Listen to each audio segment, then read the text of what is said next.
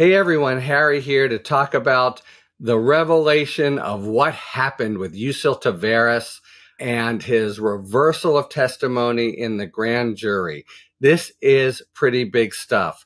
Let's just start with the substance. So Taveras, he's the IT guy down in Mar-a-Lago. And when Trump wants to delete the security footage, he dispatches Walt Nauta to find out can that be done, etc. Taveras says, I don't think so, but definitely Taveras is part of those discussions.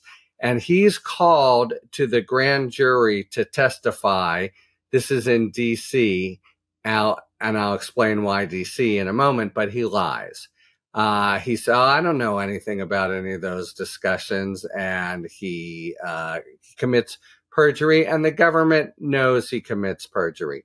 How they know it exactly, we are not sure, but it's that already is an, an important fact. We're in a part of the litigation where things are really precarious for all these witnesses because Jack Smith is sitting on a mountain of evidence and when people lie he may well know. So there they say to him look we're going to we're going to charge you. We have you dead to rights on perjury.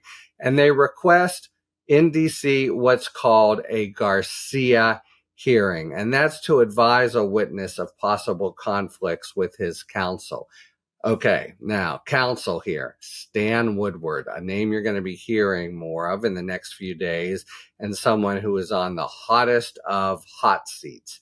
He is Trump's supplied lawyer for Taveras and also for Nauta and for a couple other witnesses as well. And once Taveras lies and doesn't give testimony that would inculpate Nauta, there's a rank conflict there.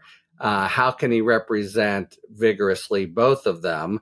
The guy who has lied and is in and is in trouble for doing it, and who and for whom the truth would be uh, really uh, damning to his other client.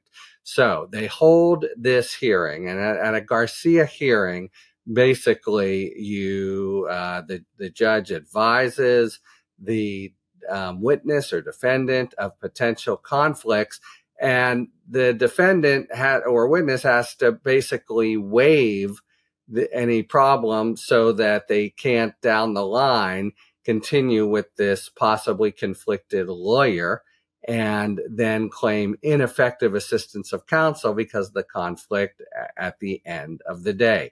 So, um, the chief judge of the DC circuit, Jeb Boasberg, appoints a lawyer, a federal public defender, and uh, those guys are often pretty good. But anyway, just to advise Taveras, who does. And lo and behold, Taveras then step, says, I don't want Woodward as my lawyer anymore. I want this federal public defender. Goes back to the grand jury and gives it all up. And what does he give up? He gives up Nauta. He gives up De Oliveira. He gives up Trump. He gives up what we know to be the case. And he's a key witness, but not the only one. There's, uh, among other things, also videotape of some of the movement in and out. he says, yes, they were trying to destroy. They they were asking me how can we destroy the uh, security footage, and this, of course, just after I think a day after the government has said we want we're going to subpoena this and we want it. So a, a total uh, obstruction, which is what Nauta and De Oliveira and Trump uh, have been charged with in the superseding indictment.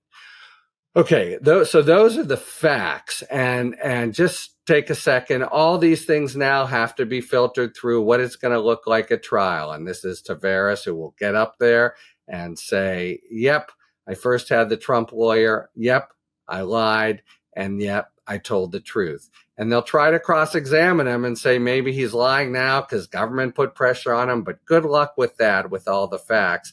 And by the way, uh, I've given you axiom number one before. Donald Trump can't testify. Axioms two and three in Mar-a-Lago. Neither can Nauta. Neither can De Oliveira. They would be completely decimated. It'd be a bloodbath.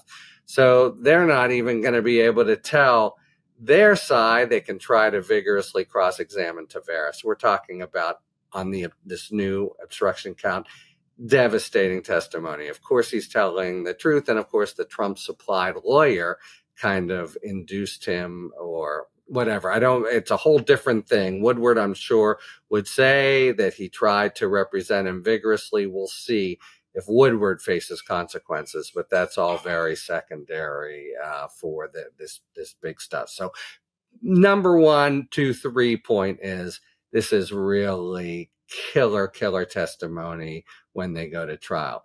The other big point here is how this came up and the continuing drama with Judge Eileen Cannon in Mar a Lago. So, the government filed a motion, I think it was under seal, to suggest that maybe um, Cannon needed to do this with Nauta once Nauta got charged. Remember, it was a superseding um, indictment, well, with De, De Oliveira. Uh, and anyway, they make this the, a similar submission to um, Cannon, and they do it discreetly and they don't uh, dirty up Woodward or or Nauta, and they they file something under seal. And Cannon, both ignorantly and intemperately, says, "What's going on here? You're doing a grand jury in another district."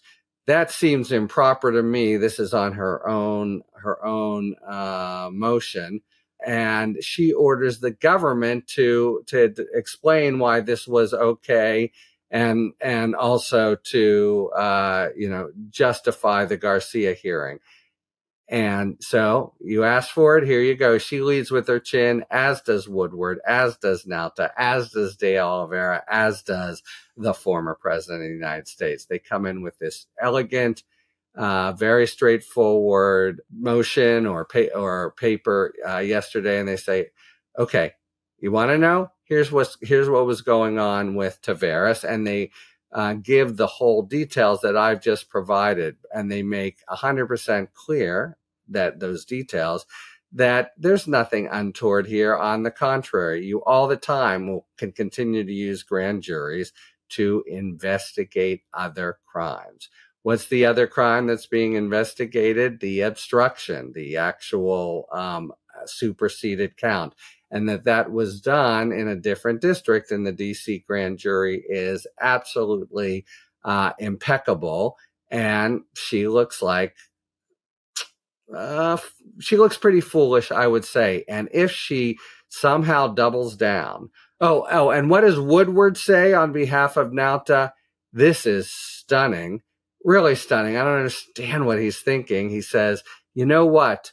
Uh, the government's trying first. He he um, uh, fans the flames that uh, Cannon has begun. Terrible. They're doing another grand jury, and what you should do, Judge, is suppress Taveras' testimony because it does conflict with Nauta's, and it's that somehow you know um, that's the way to remove a potential conflict of counsel that is bizarre and and just MAGA making attorneys get attorneys. Woodward needs uh, counsel and fast. He could really be winding up potentially with sanctions, uh, you know, uh, professional and maybe even uh, criminal exposure. But uh, the idea, oh, it's conflicting testimony and there's conflict in the lawyers, so just get rid of the testimony that that's you know a uh, abs- absolutely antithetical to what we're supposed to be doing here in the trial and getting at the at the truth. But that's what what he says. So this motion now comes in and says you need a Garcia hearing, Judge Cannon. And by the way, nothing improper at all about this uh, other grand jury because we're investigating another crime, Taveras' um, perjury and also the obstruction. So the way it was set up is kind of exquisite. You know, they they didn't come in aggressively waving the the flag on this, but uh, because of her um, ag- aggressiveness out of the box, they you know very uh, straightforwardly basically uh, throw a, a shoot uh, an arrow across the bow for both Woodward and Garcia and excuse me uh, Cannon who at this point, it seems to me, has to hold this um, Garcia hearing and has to back away from her uh, suggestion, which she brought up on her own, that there was anything improper about this other grand jury. And if she doesn't, if she somehow tries to stay the course, and that's one of the things that happened with her back then. She gets embarrassed, egg on her face, and then tries to double down. If she does something like that, that really could be an occasion for getting her uh, recused and going up to the 11th Circuit. So, killer testimony and uh, will be, I think, devastating to Nauta and de Oliveira and Trump because Trump is as we know, uh, what Nauta says when he goes to Taveras, the boss wants it deleted. The boss wants it deleted uh, and a total um, uh, slapdown of the suggestion from Judge Cannon that the government did anything improper here. The table is set for um, a pretty um, uh, hot uh, hearing and a little bit of drama as to whether Cannon will see the writing on the wall. Talk to you later. Thanks for tuning in. If you enjoyed this video and other Talking Feds content, please take a second to like and subscribe. Talk to you later.